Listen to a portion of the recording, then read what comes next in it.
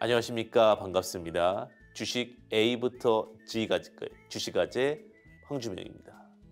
어, 모든 부분들을 여러분들과 함께하면 좋겠지만 특히 주식아재에서는 여러분들과 테마주에 대해서 어, 시장의 중심 테마주 이야기를 항상 함께하고 있습니다. 어, 테마주만 잘 봐도 사실은 시장의 흐름과 시장의 이슈들을 모두 다 체크해 볼 수 있습니다. 우리가 주식 아재에 대해서 여러분들과 함께하고 싶은 부분들 너무나도 많은데 특히 이제 시장에 대한 이야기 짧게 이야기 드리고 그다음에 테마에 대한 이야기 보도록 하겠습니다.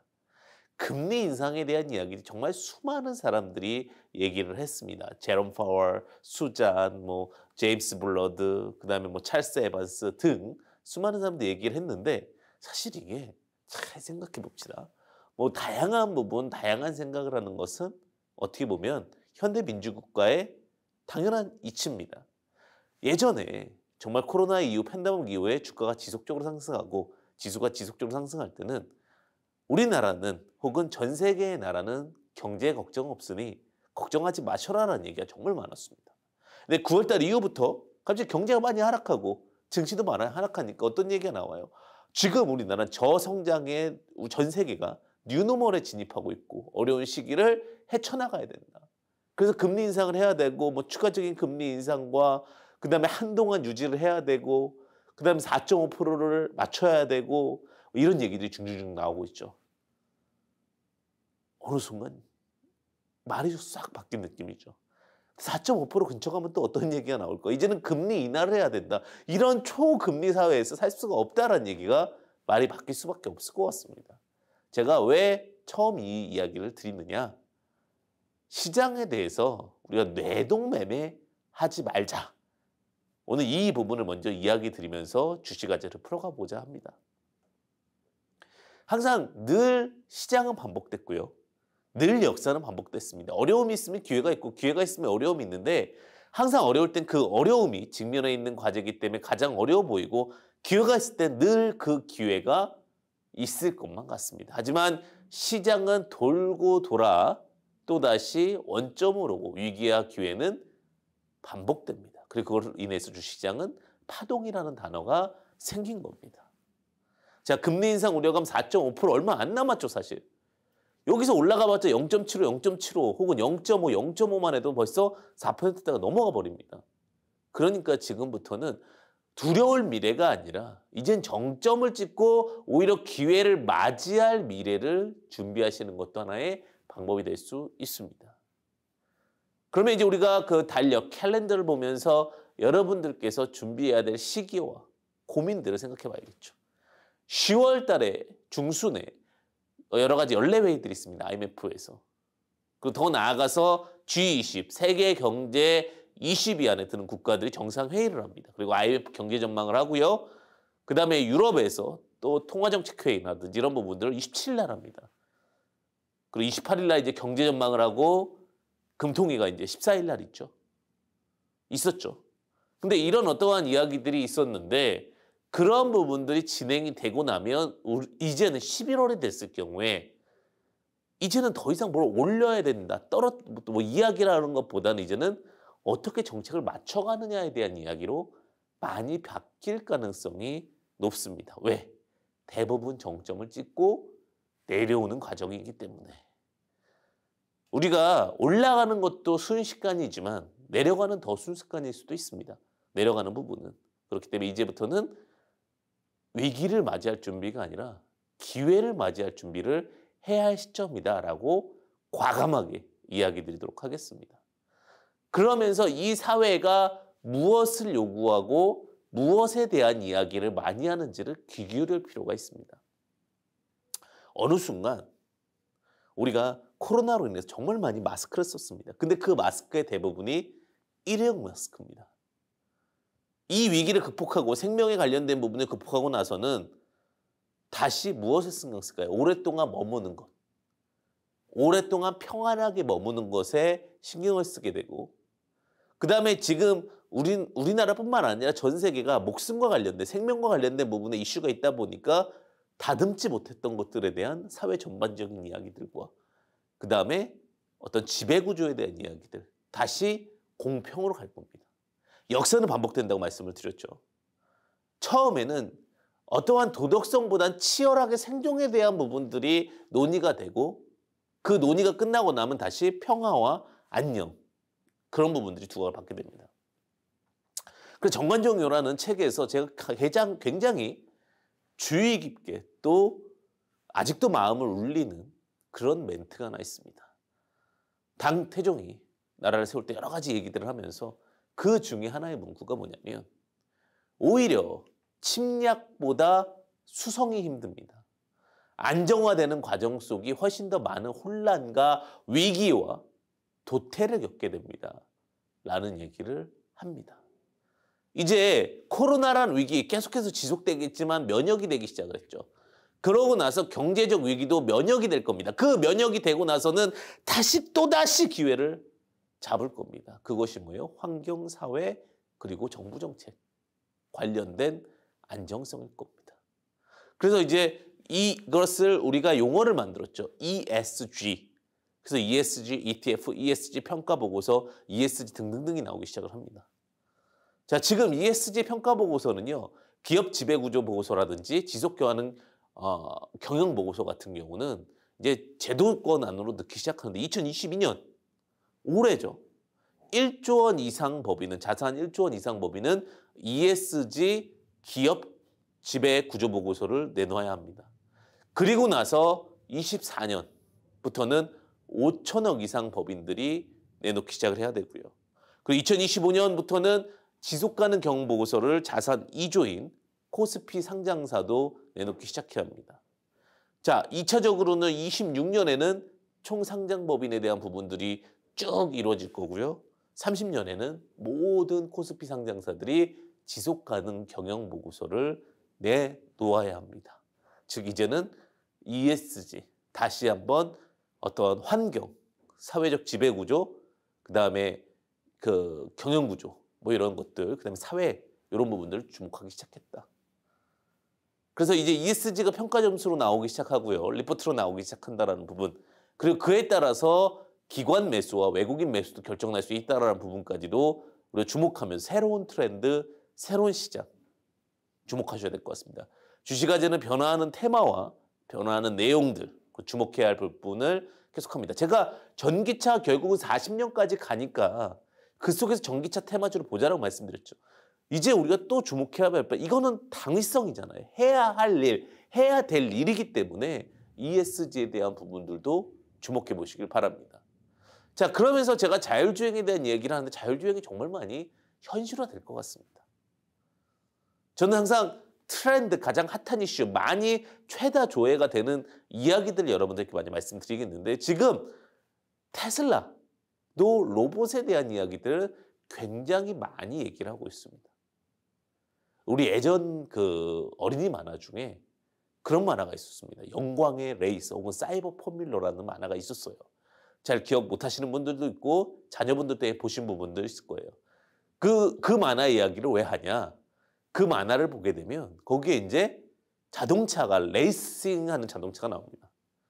근데 그 레이싱 하는 자동차에 그왜 내비게이션처럼 로봇 머리가 하나 있습니다. 근데 그 로봇가 판단을 하는 거죠. 아 이런 데서는 이렇게 하는 게 좋겠습니다. 그러니까 단순히 운전자의 판단만이 아니라 예를 들면 레이싱에 이기기 위해서 무엇을 해야 할지 혹은 어떠한 그런 부분들 여기서 뭐 가속을 해야 될지 꺾을 때 어떤 데서 안정성을 줄지 혹은 위험성에 도래하는 확률이 몇 퍼센트인지 이런 부분들을 계산을 하죠. 그때는 단순히 그것이 어떠한 재미로 인한 부분인 줄 알았죠. 그리고 그런 현실이 정말로 일어날 거나 생각을 했지만 지금 너무나 가까운 시장, 너무나 가깝게 이러한 자율주행차 현실화가 이루어지고 있습니다. 그 부분을 선도하는 기업이 있습니다. 사실 정말 일장춘몽이다. 꿈에 대한 이야기다라고만 했지만 어느 순간 엄청나게 성장한 기업이죠. 테슬라죠. 자, 테슬라가 로봇 사업을 본격화하고 있습니다. 근데 왜 로봇 사업을 합니까? 자동차 로봇은 별개잖아요. 결국은 AI 기술과 딥러닝 기술 등이 결국 로봇과 만났을 때 시너지가 나오면서 빵! 긍정화되는 거죠. 그러면서 이제 자동차가 판단하는 세상. 그러니까 어떠한 안정성에 대한 국면도 있지만 리스크 헤지까지도 이루어지는 세상들이 발생을 한다라는 겁니다. 그 시장이 지금 굉장히 많이 도래하고 있다. 그래서 그러한 시장들에 대한 관점에서 로봇 시장이 정말 많이 확대가 되고 있습니다. 로봇의 분류가 단순히 그냥 일반 로봇 이게 아니라요. 제조용 로봇과 서비스 로봇으로 구분이 되고 제조용 로봇은 약간 안정성과 그다음에 어떠한 사람이 할 수 없는 일들을 굉장히 좀 빨리 할 수 있는 그런 부분들도 있겠죠. 자동차라든지 전자제품이라든지 조선이라든지 등등 등에서 제조 로봇이 많이 활동을 하고 있습니다. 그러면서 이제 로봇 플랫폼이라든지 뭐 로봇 제어기라든지 센서라든지 뭐, 뭐 여러 가지 플레이터라든지 이런 부분들이 증가가 되고 있고요. 근데 우리가 지금 많이 겪고 있는 것은 서비스 분야입니다. 우리 이제 가사일도 하는 로봇들도 나올 수 있고, 그러니까 로봇 시장에 대한 키워드가 굉장히 많이 나오고 있고, 제가 빅데이터 분석을 통해서 여러분들에게 말씀드리는 부분, 그게 많이 나오고 있다는 것은 결국 시장에서는 언제든지 테마가 될 수 있고, 기다렸을 때 순간의 기회가 올 수 있다라는 겁니다. 자, 가사 지원이나 개인용이나 뭐 개인 엔터테인먼트라든지 뭐 실버 케어라든지 너무나 다 가능한 얘기들이죠. 분야 분야로 봤을 때는. 그리고 진짜 로봇 같은 경우가 가장 많이 쓰이는 게 저 로봇 청소기는 많이 쓰시죠, 사실. 로봇 청소기 같은 경우도 그렇고. 그 다음에 뭐 검사 및 유지 보수 위험한 데 갈 때도 마찬가지고 건설 및 제어, 유통물류, 의류, 국방. 어, 드론도 여기 로봇을 장착했을 경우에 굉장히 강력한 정밀 타격 가능한 로봇 시장의 확대 시장까지도 나온다고 말씀을 드리고 있죠. 제가 지금 계속해서 한 주간 가장 이슈가 될 수 있고 가장 핫한 테마에 대한 이야기라고 데이터 자료들이 가장 방대한 부분들을 늘 얘기 드리고 있는데 아 단순히 로봇이 먼 미래 이야기가 아니라 이제는 현실화될 수 있는 시점이구나. 자 스마트폰 시장이 가장 많이 확장됐을 때 이야기 드렸습니다. 갤럭시 S1에서 S2로 넘어가는 그 시점 누구나 다 이제는 어 스마트폰이 불필요한데 어, 노트북 쓰면 되는데 아 이래서 스마트폰을 쓰는구나 작은 나만의 컴퓨터 작은 나만의 어떠한 굉장히 편리한 개인 비서 이런 느낌이 됐을 때 가장 큰 주가 파동과 주가의 시세가 분출이 됐습니다. 자, 그 다음에 이제 여태까지 제가 항상 미래에 대한 얘기들을 말씀드리면서 사람에 대한 가치에 대해서 조금은 폄훼되는 느낌이 들었을 것 같아요. 그러면 우리나라나 전 세계가 사람에 대한 부분은 없는 거냐? 단순히 제조업이라든지 이제는 전부 다 로봇, AI 이런 쪽으로 다 확장되는 거냐? 저는 아니라고 봅니다. 왜? 우리가 예전에 마케팅 중에 디지털 마케팅이 있었고 아날로그 마케팅이 있었습니다. 디지털 마케팅은 뭐냐면 정말 어떠한 그 디지털화된 첨단 기술을 통한 마케팅인 거죠. 통계 데이터베이스, 통계. 제가 축구를 표현할 때 그렇게 하죠. 뭐 이거는 제가 제 생각일 수 있습니다. 항상 모든 전문성은 다 다양하기 때문에 하지만 그 참고 사항으로 말씀드리니까 제가 볼 때 제가 볼 때 축구에서 디지털 축구라는 곳은 독일입니다. 굉장히 잘 짜여진 구도 안에서 예, 정확한 어떤 패스 확률 계산 이런 것이 이제 저는 독일 축구의 어떤 독일 국가대표 축구의 기본이라고 보고 있고요. 또 하나는 뭐냐면 어떤 감각, 본능, 물론 그 외에 많은 요인들이 있겠지만 많은 부분을 차지하는 기준적인 부분들을 말씀을 드려요. 그리고 굉장히 축구 센스 이쪽은 어디라고 봅니까? 저는 브라질 축구라고 봅니다. 굉장히 유연함과 또 개인 기량에 대한 부분들을 주목하는 것.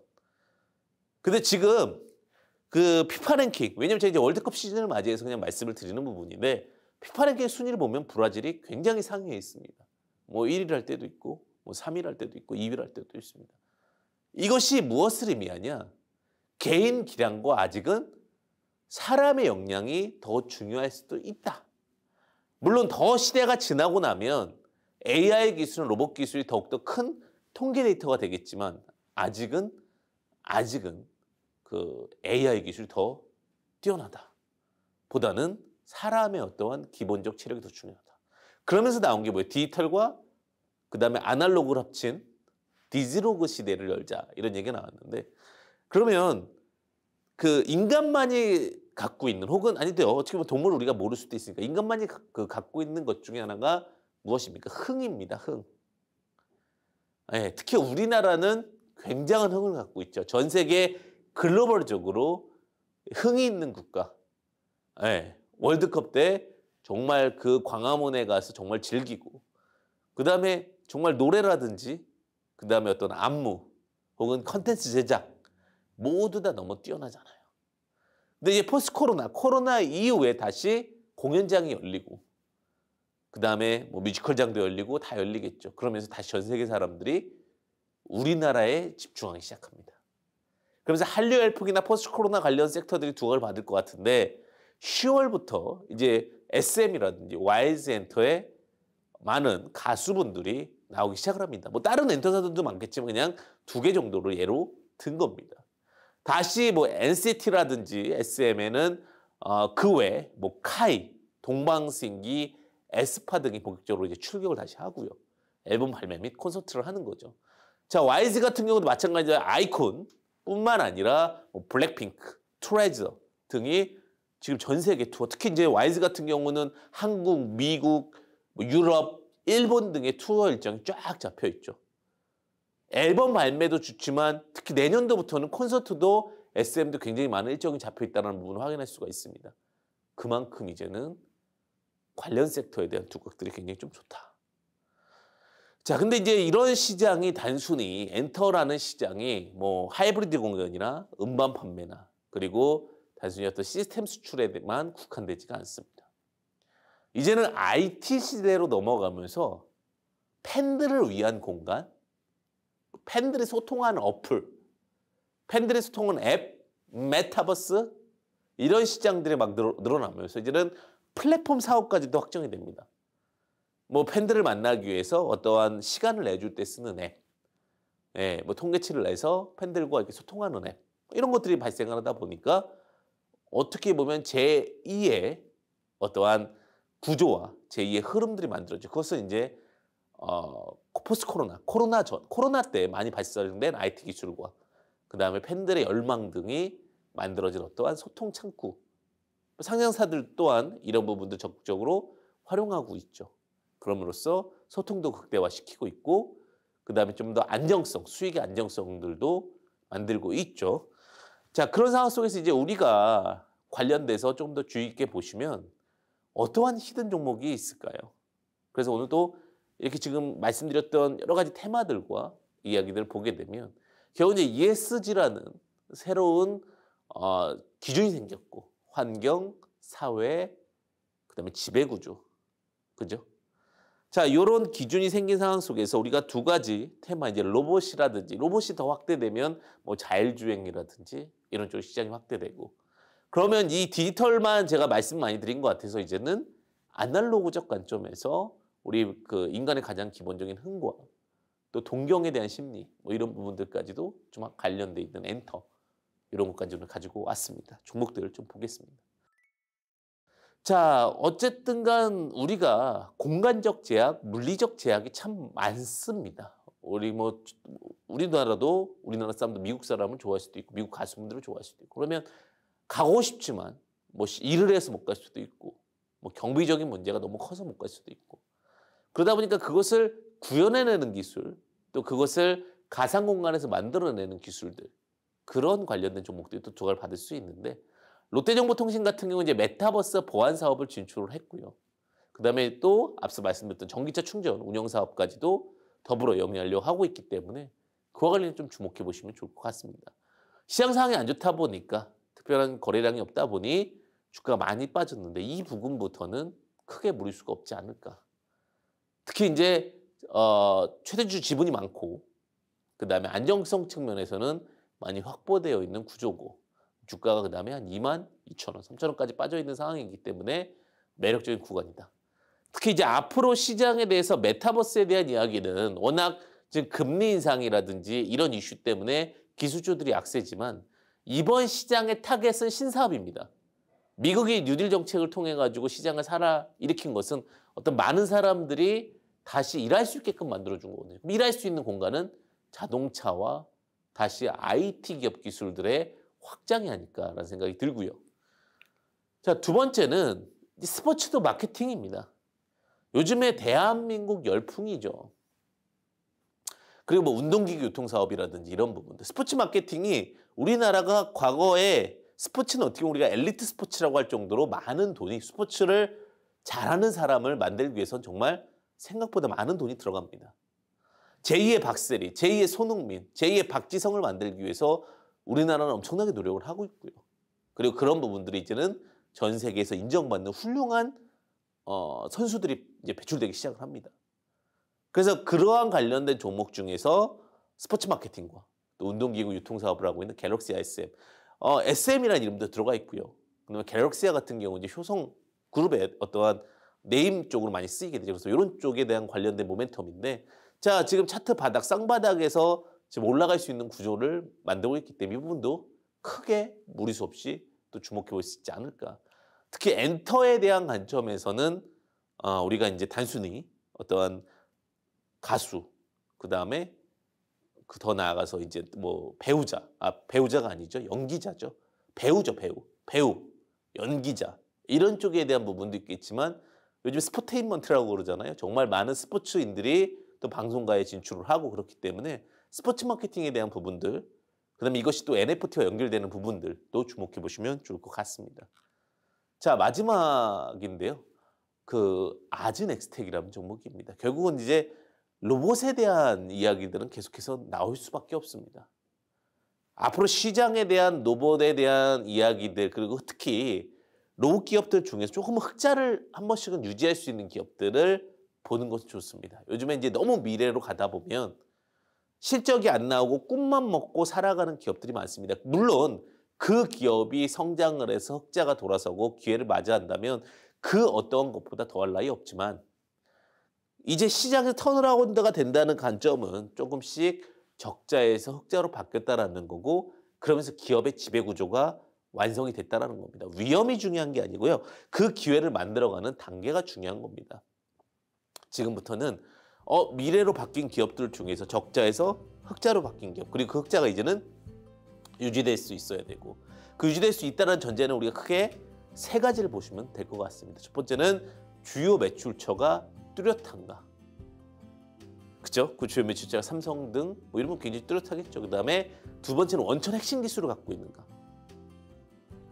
세 번째는 진입 장벽이 위치가 그래도 5년 이상 할 수 있는 것인가를 보시면 여러분은 분명히 좋은 판단이 될 것 같습니다. 주식화제 오늘도 이렇게까지 말씀드렸고요. 항상 트렌드를 통해서 여러분들 수익 많이 보시길 바라겠습니다. 주식화제 황주명이었습니다. 감사합니다.